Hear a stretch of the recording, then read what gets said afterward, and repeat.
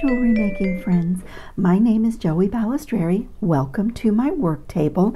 Today's project is going to be a little bit of playing with chain. Um, it is a multi-strand necklace and also a bar necklace. And I will show you some of the things that I will be working with. For one thing, I love to use what I have already purchased. So I have gone into my stash and I got two of these chains on clearance. They were $8.99, but they were on clearance for 224 and these are by Vintaj and these are natural brass. So this one had this little brass clasp on it and I've taken that off. I don't think I'll be using it in this project. And then I also had this smaller vintage brass chain, same price point that I just found on clearance. And then this is my favorite chain. If you've watched some of my other videos, this has made an appearance in quite a few projects. I picked this up at a bead show and I just love it. In fact, I'm going back to that bead show on April 27th. I'm really excited. I hope the seller is there again.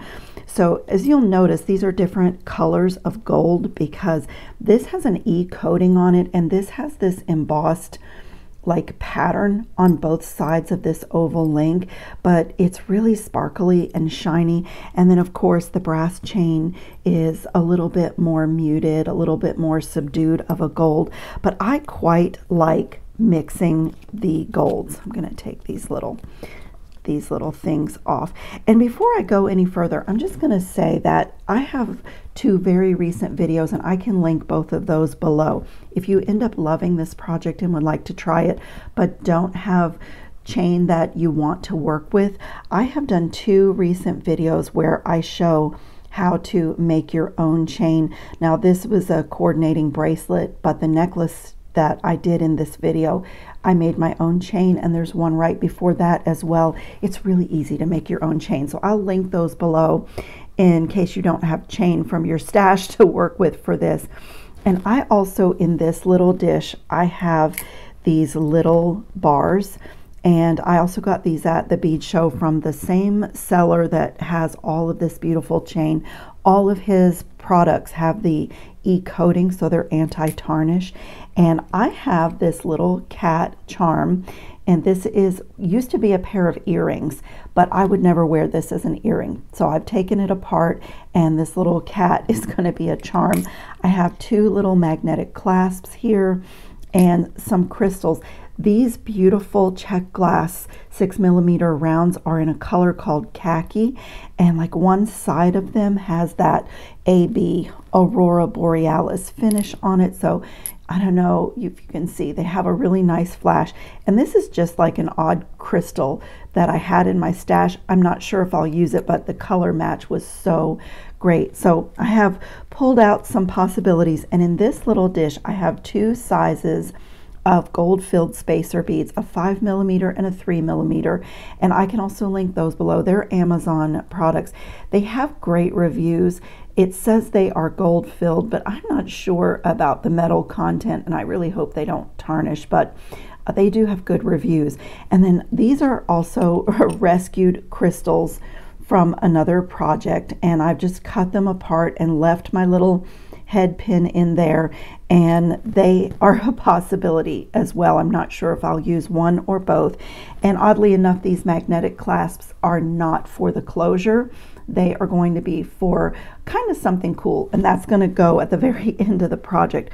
So my plan is to make this first chain the part that will go around my neck, and then I want to have some chains hanging from the bottom of a bar.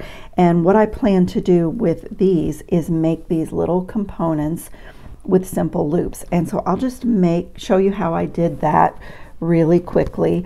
I like to use 20 gauge wire for that and I am using my two and a quarter millimeter one step looper. Um, when I have a lot of components to make, this tool just really saves my my hand from an arthritis flare up. So if you don't care for this tool, I I hear both ways. I hear that people either love this or hate it. So if if you don't care for this tool, you can get your simple loops in there however you need to. Your pliers work really great. So I'm going to just thread on one of those little bars and it kind of becomes a little connector bar. And I'm just going to get my loop in there. I like this tool a lot. I have a lot of control over straightening things. I get perfect, consistent loops every time when I'm making like a project where I have to repeat. They are always the same. Let me slow down for the crystal one and show you. So I will put my wire in the tool and just slightly close it so that I'm holding on to it. And my wire is just slightly past the back jaw of the tool. And this tool will give me a nice clean blunt cut on my wire. So it's a step that I can skip with my pliers. And there is the little tiny bit of waste, not really waste at all. And then when I close the tool all the way, I'm just going to pull the wire down so that my loop is right in the middle of that wire, centered. And then I can smooth and straighten if there's anything that needs to be done. And then when I take it out of the tool, I have a perfect loop. And now all I need to do is thread one of my little six millimeter beads on. I like to through a piece, a beaded chain, have my loops going in opposite directions. Don't ask me why, it's just what I do. And so this one is curved down, the tool wraps the wire upward. So this time I will push the wire all the way through the back of the tool and just slightly close it just so that I'm holding on to it. I'm not putting a lot of pressure and I want my bead to be just a little bit away from this front jaw of the plier. So I'm going to back it out just a millimeter. You can see that little bit of space.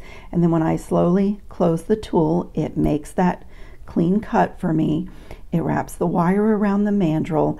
And then before I close the tool all the way, I am just going to pull that bead down and away from the tool. Now I can see that my loop is a slightly misaligned. So while it's still in the tool, I can take my pliers and line up those loops. And when I take it off, I have a perfect component. And since I have a few of these to do, they will all be totally consistent. But as I say, if you're not a huge fan of this tool, you can totally do this with your plier. So when you're going to start with a piece of wire and put your first loop in, instead of taking the time to use your pliers to make your blunt cut, you can just put that wire in past the back jaw of the tool and close it. It makes that little cut and you know your first loop is in there. And if I have a lot to make I don't even put the pool tool down. I just keep it in my hand like that and I can get my components made and created really quickly. So I just like hang on to the tool, kind of swing it out of the way, and just repeat, repeat, repeat.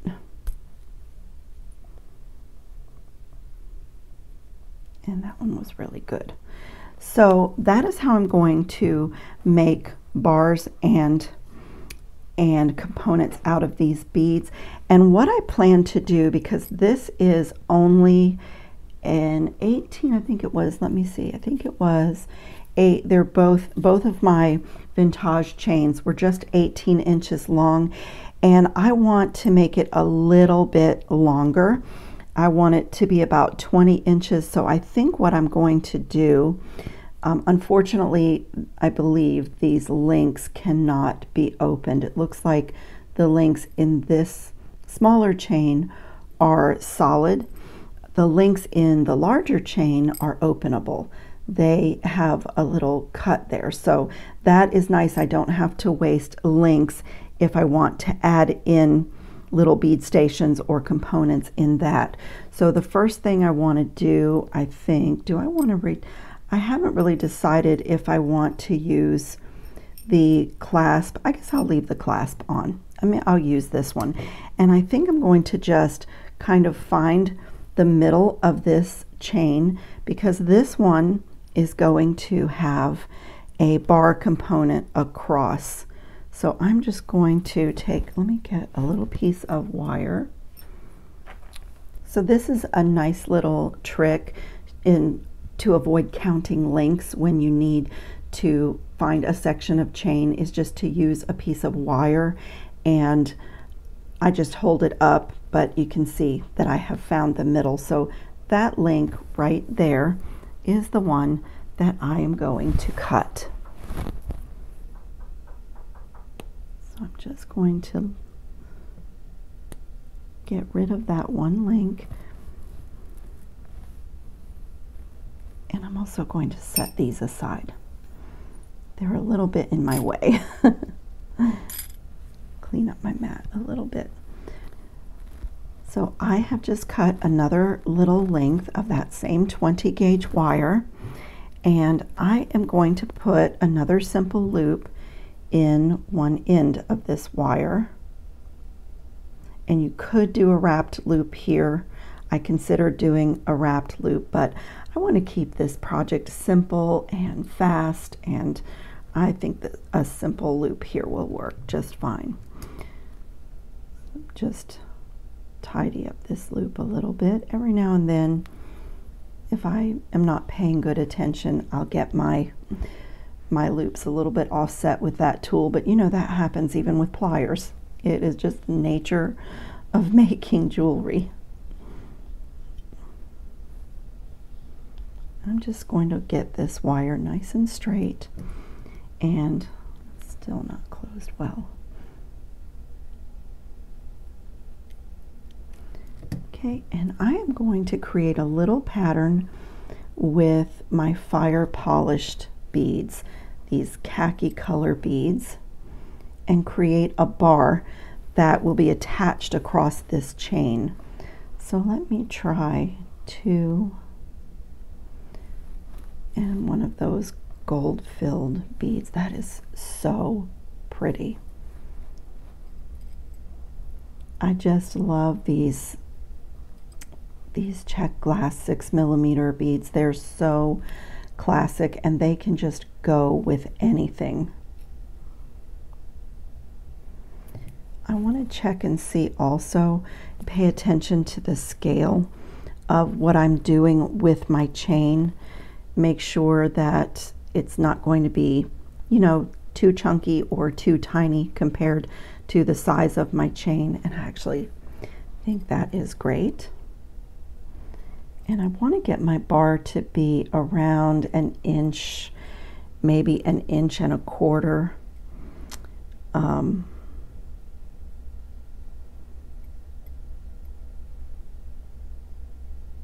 I think I am going to add one bead right here. I want it to be a little bit longer because my design will have something added to this at the end. So I just want to make sure that I have the space for that. Put these back on. And so that is my bar component that's going to go right there. And I'm going to come back in with my one-step looper.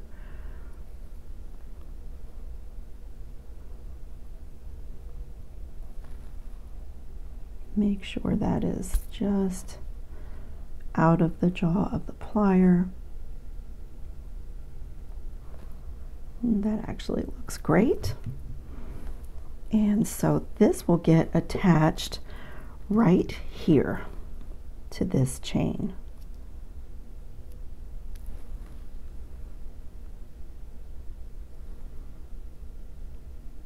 And again, I quite like mixing all of these golds.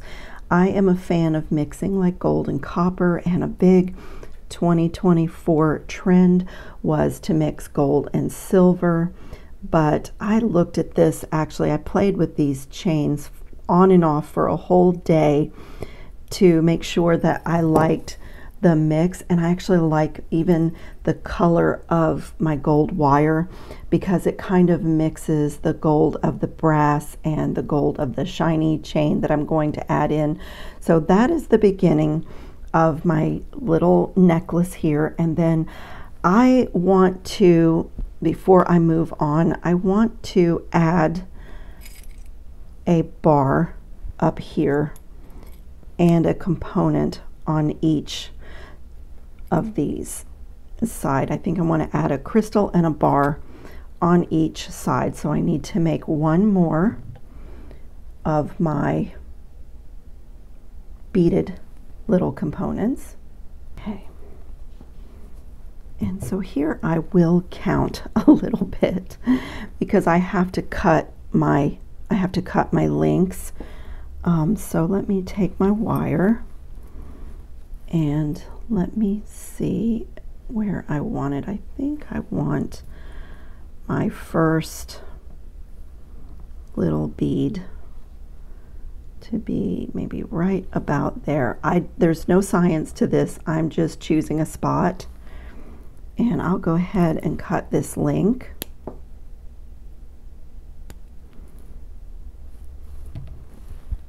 And that is where I will add in this little beaded component that I just made. So this is a good way to take a ready-made chain and customize it and make it look really artisan by, you know, adding in some beaded components and kind of reconfiguring the chain to look like what you want it to, you know, something that's handmade and not ready-made. That's what I'm trying to say. So let me count 1, 2, 3, 4, 5, 6, 7, 8, 9, 10, 11, 12, 13 links. So let's do the same thing on this side. 1, 2, 3, 4, 5, 6, 7, 8, 9, 10, 11, 12, 13 links. So I'm going to cut this one.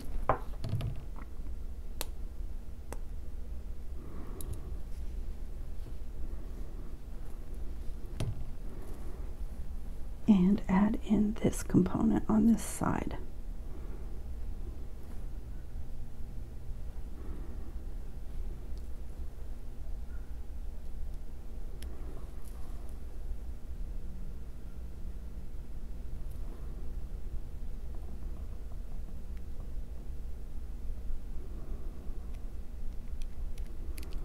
I also like to open and close my pliers on my loops as I close them. It just work hardens them a little bit. And now let's see how I want to do this. Do I want to add my bar right there? Or do I want another little section of chain? I think I want another little section of chain.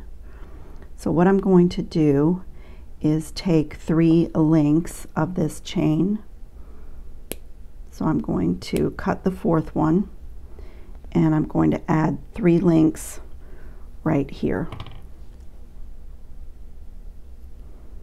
Open that loop. Get the end of my chain.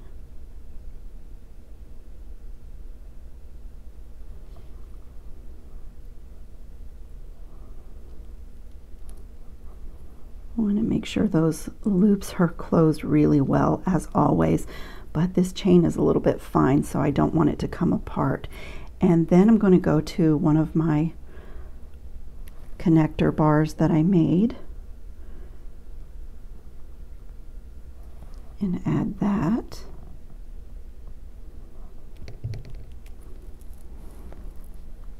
And then another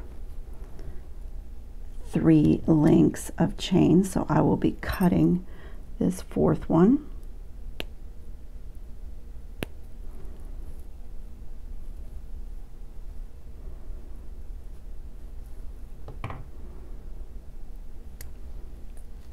And add that in right here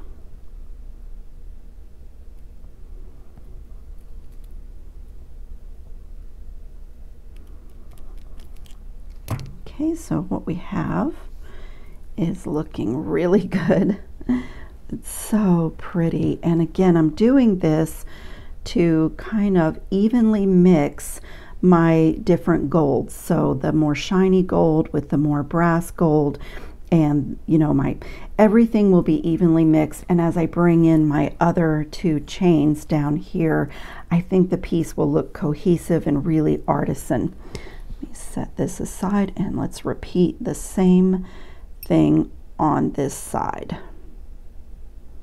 Turn this around and let me get my three links on this side so I'll be cutting this fourth one.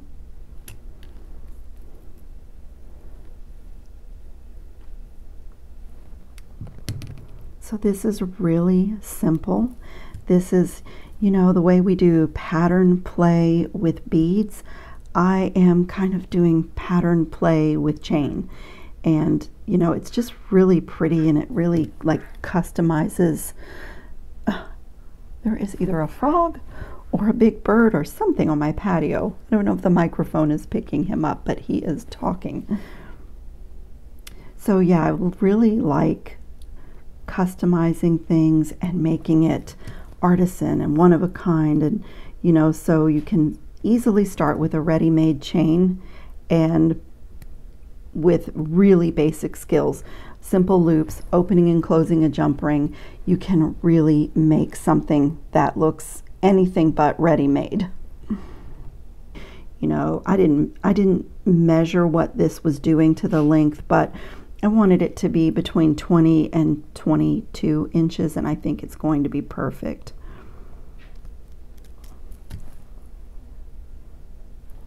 Close that one just a tiny bit more. Okay, now we're at the same length. Now we can go back to this little component that we made. I am not happy with that one. I think I'm going to redo that. It looks like my it looks like my um, wire just is a little bit longer than the other components. Let me redo this one really quickly. Every now and then I'll make a component and I'm just not happy with something with it.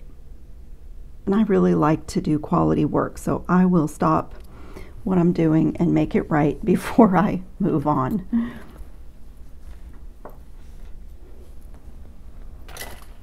Okay. Now we can add in the back part of our chain. Super easy to just take a plain chain and make it stunning with adding just a couple of little things to it.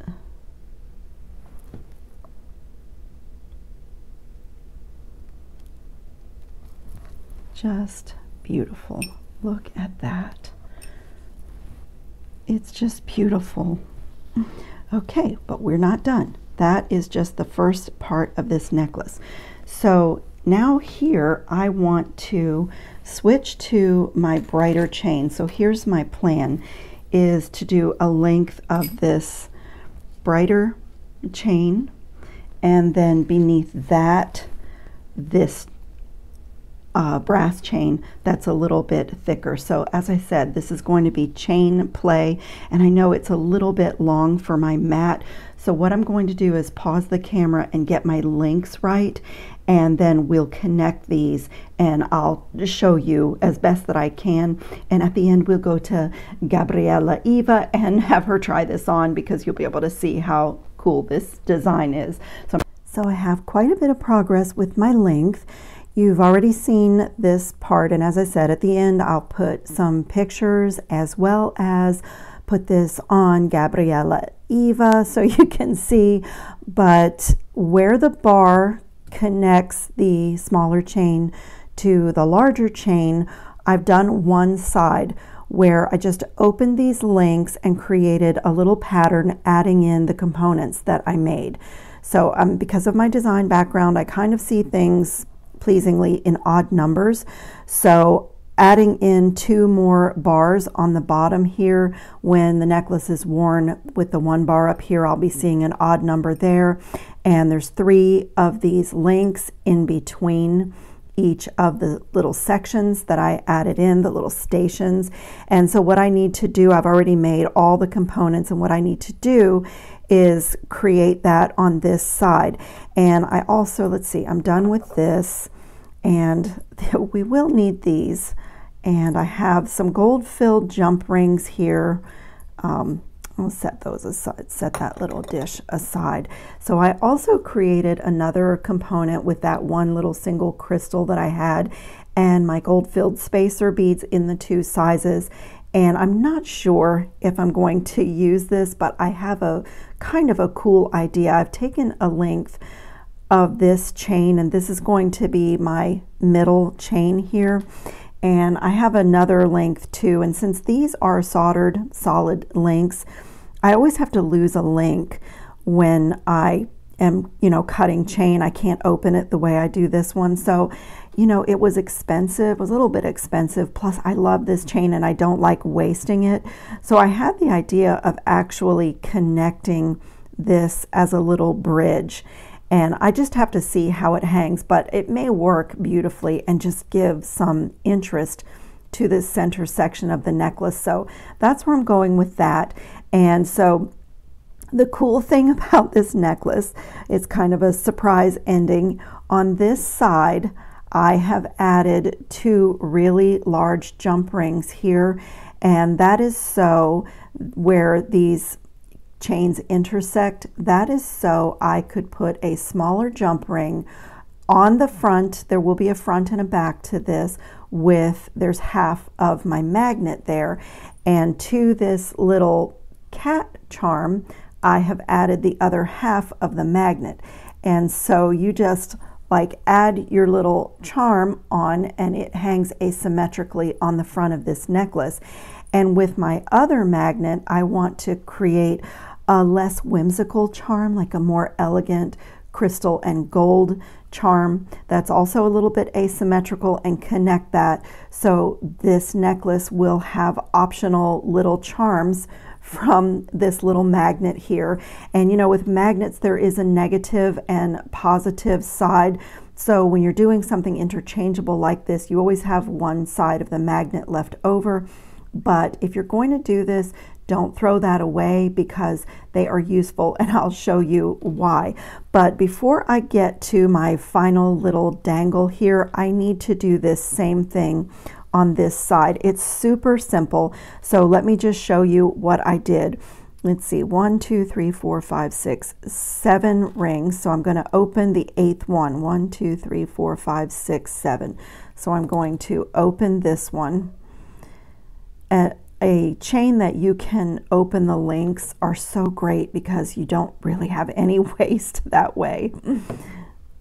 And let's see, let me count again. One, two, three, four, five, six, seven. One, two, three, four, five, six, seven.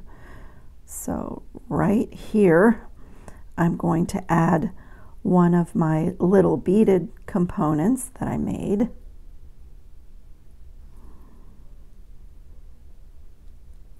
and connect that to the link that I opened. And so I'm simply going to work my way down the length of this chain, adding in those stations and just duplicating this side of the necklace. So I'm adding a little bit of length, but I'm also adding interest to my piece. And then I did three links in between that. Let's see which end opens. This one's closed so well I can't see which ends. I guess it's this one. It's such a good quality chain and I don't know why these were on clearance, but they were and I grabbed them. I'm a big proponent of using what we have purchased. You know, I think it's just so important and not just be hoarding jewelry supplies or keep buying supplies when you haven't used what you've already bought. So I really try to go into my stash and take things out that I purchased that were a good deal or that I just really loved.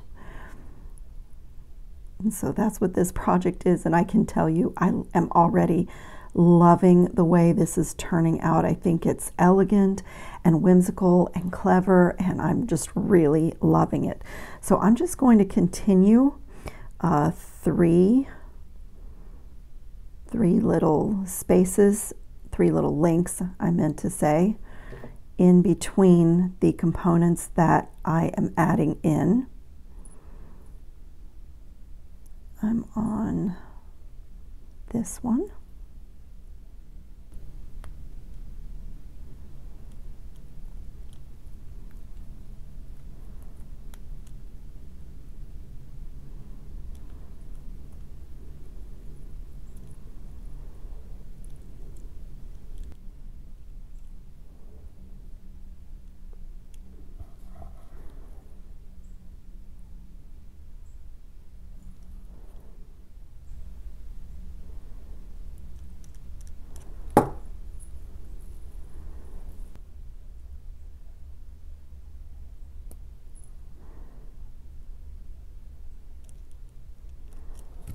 Okay, so my longest part of my chain is finished.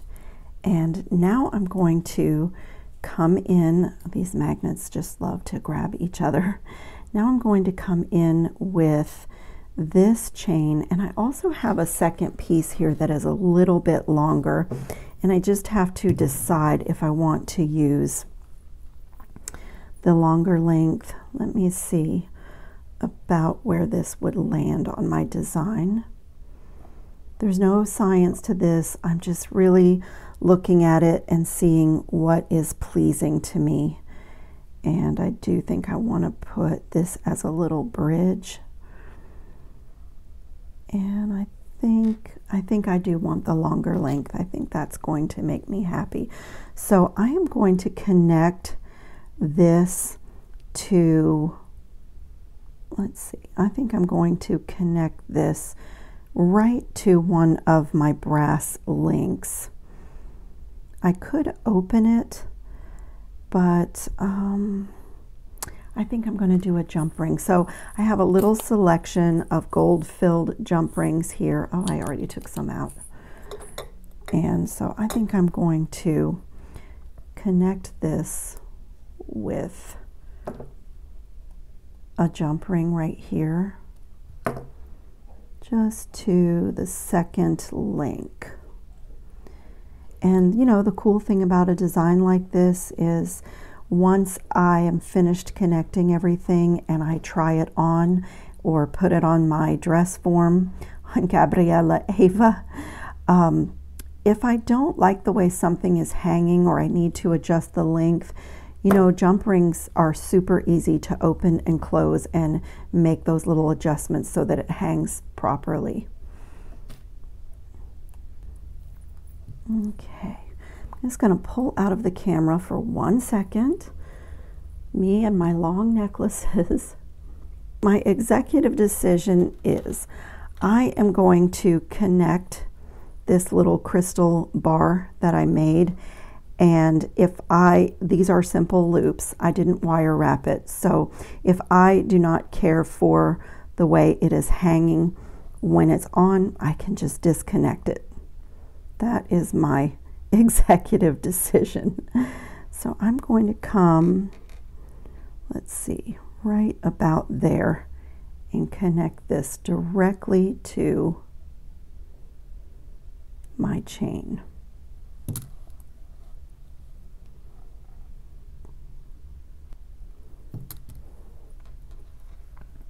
Okay, I'm going to just pull out of the camera really quickly and see. Oh, you guys, I think it's going to be just gorgeous. I love it. Okay, so the last step, I already have my little cat charm and half my magnet so I just need to work on this one. So I want these to hang not at the same height. I want it to have almost that tassel look. So I'm just going to do a simple loop in this one. I just bent it to hold everything on here and I just added one of my little um, three millimeter spacer beads to the uh, knotted head pin that I already made. And this was just salvaged from another project that I took apart and I did not want to, you know, of course, discard them. And I left them, I left them wrapped the way that I had them in that project. So I'm just going to make a simple loop here. And I'm going to put a jump ring through those two like that, kind of hanging asymmetrically and attach it right to half of my second magnet. And then with a design like this, you know, I could continue to add little charms to the collection. I want to turn it this way.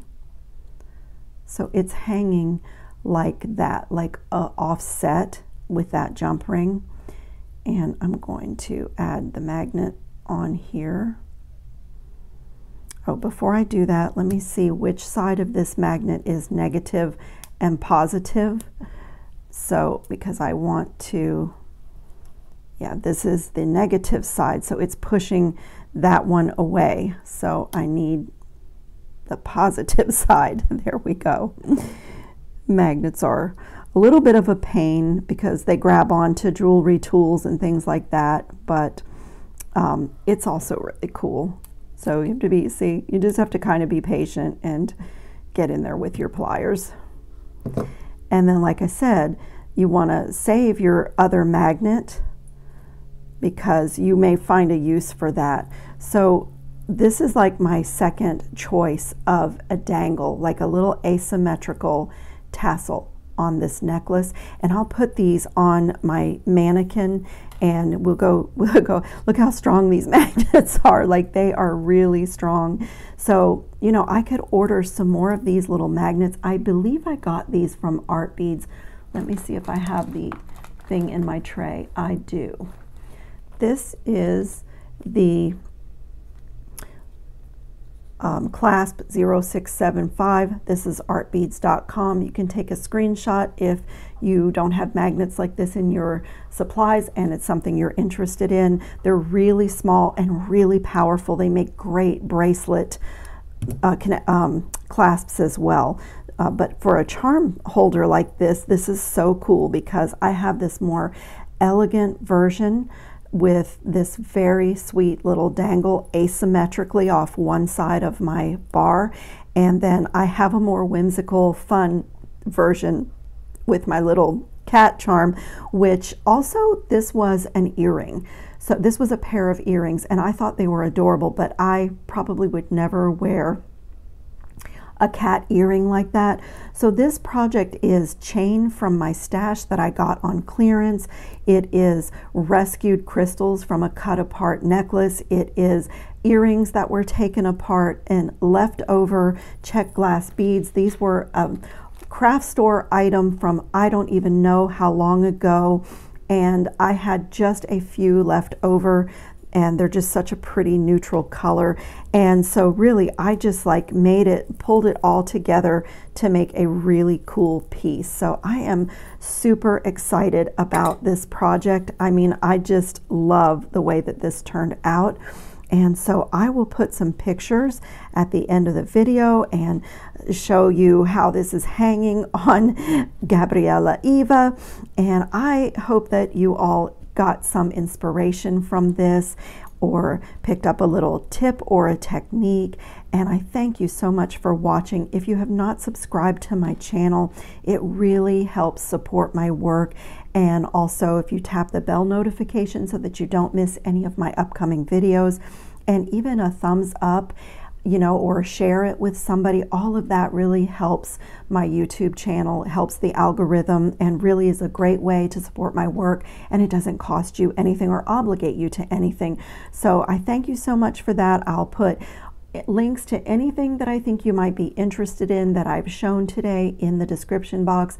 I work kind of hard on those boxes so they're easy access for all of you. And again, I thank you so much for watching. Um, I hope everybody is safe and well and having fun on their beading mats. Ciao, jewelry making friends.